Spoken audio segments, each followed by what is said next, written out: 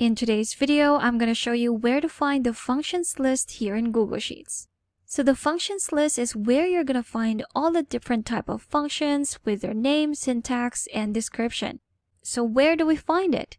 Well, let's go to help right here and select the function list right here. If you click on that, you'll be redirected to this page with the complete list.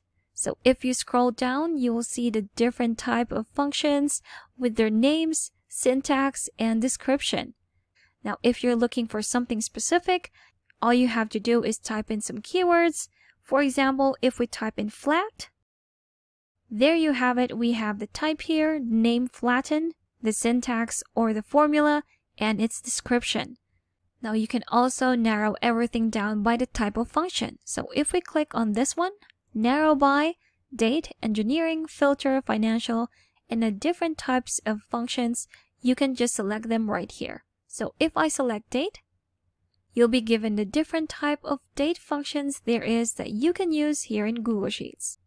Now you will also see a learn more link after every description for every function.